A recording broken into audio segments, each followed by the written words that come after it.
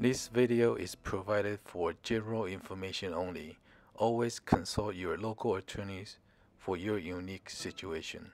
Happy Friday! I remember when I was in law school, I was sitting in a, uh, a federal taxation class and I was uh, reading one case.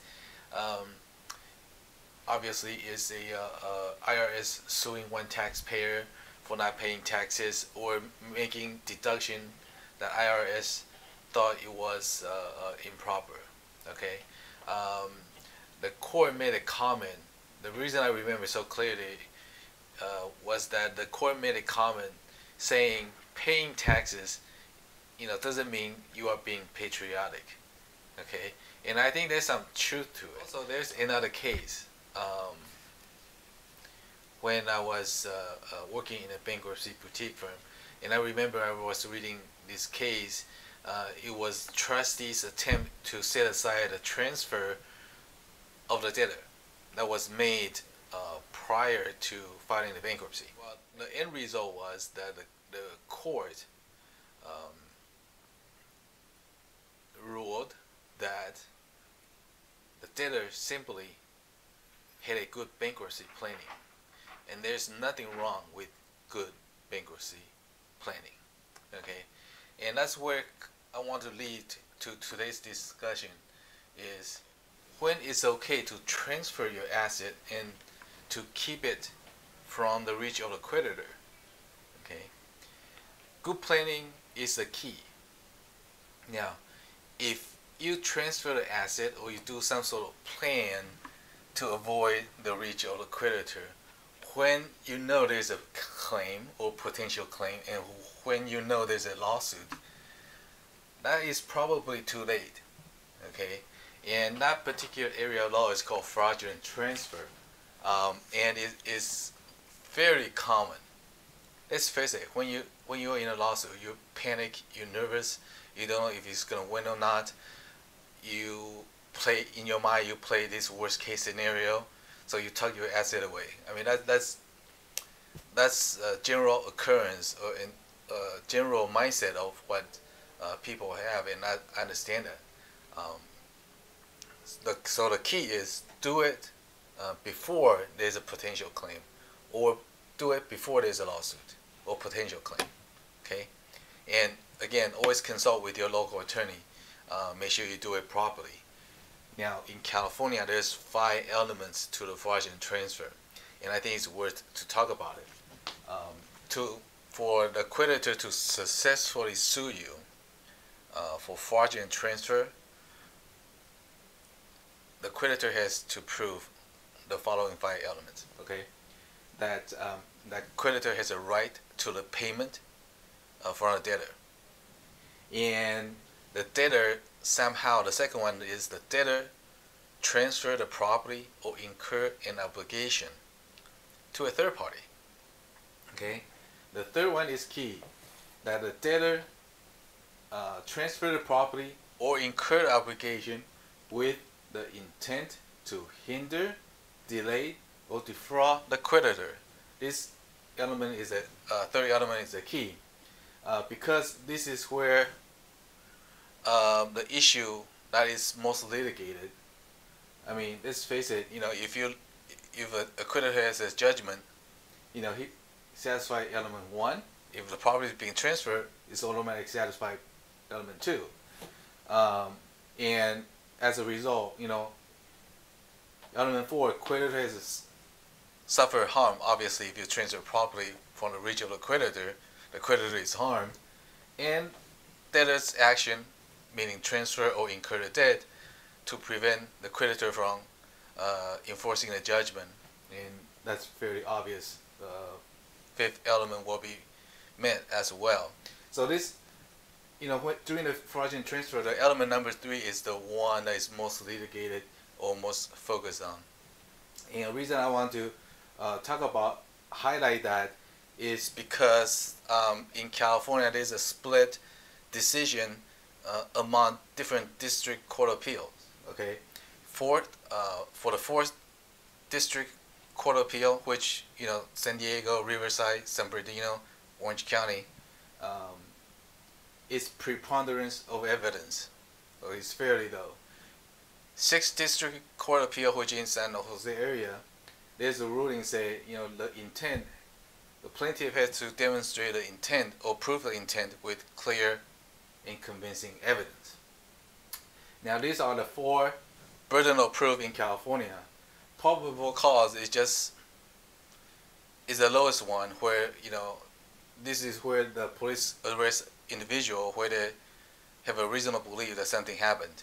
Then you know that's enough for them to make arrest. Beyond the reasonable doubt is a criminal uh, burden of proof.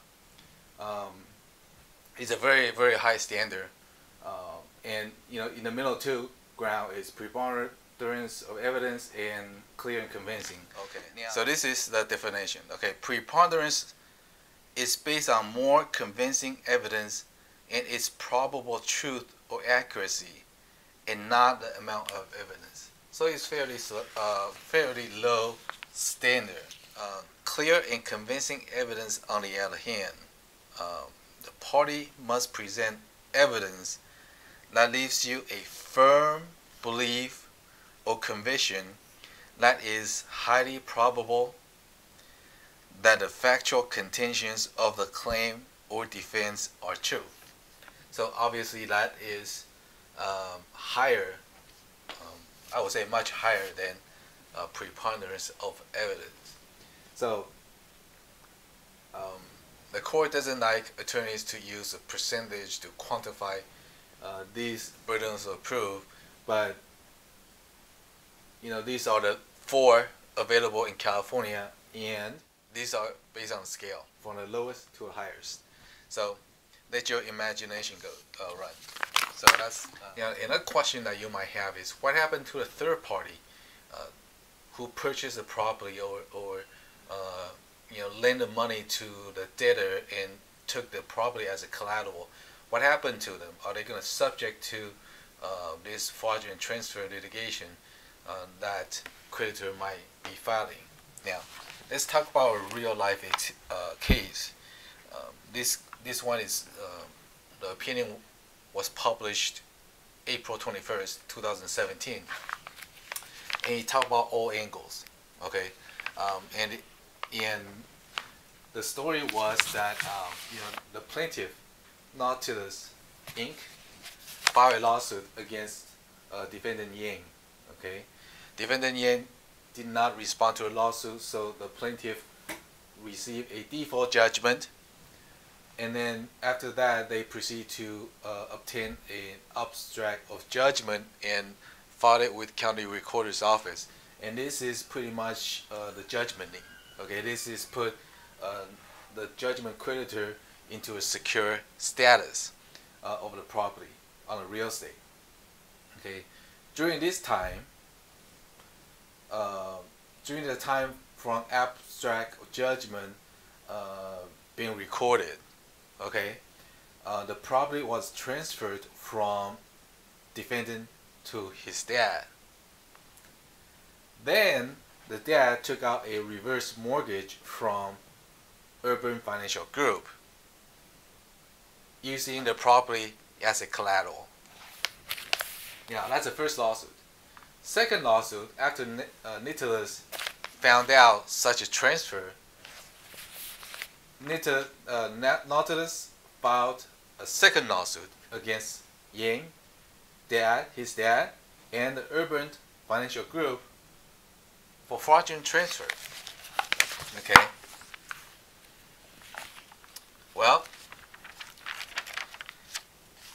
The result is obviously the urban financial group assert a defense called um, assert a good faith defense, meaning when I lend the dad the money and took the property as collateral, we had no clue what was going on.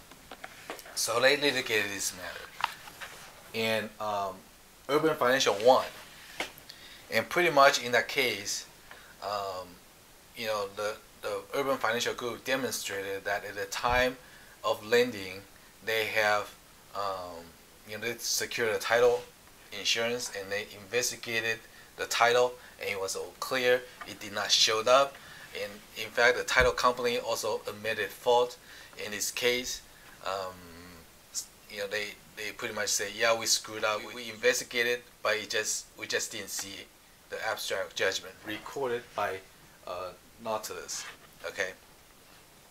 So because of that, uh, the court said, you know, not uh, the Urban Financial wasn't liable um, to the plaintiff for fraudulent transfer because they are a bona fide uh, third party. Okay, so the result is obviously Nautilus won and got the judgment against the Yen and the dad for fraudulent transfer. Uh, obviously, Yen is already on the hook for the first lawsuit. Now the dad is also liable uh, for the fraudulent transfer, even though dad wasn't a party in the first lawsuit. Once you have a judgment, it's hard to convince the court or the jury um, that um, the transfer wasn't to wasn't to prevent uh, from reach uh, creditors enforcement of judgment.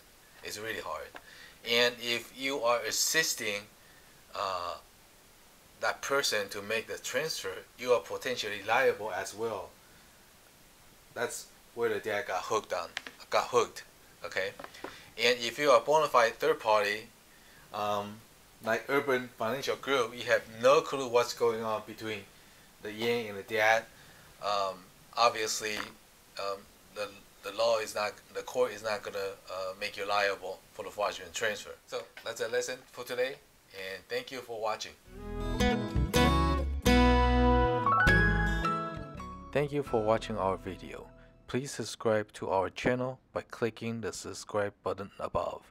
Please also check out our other videos.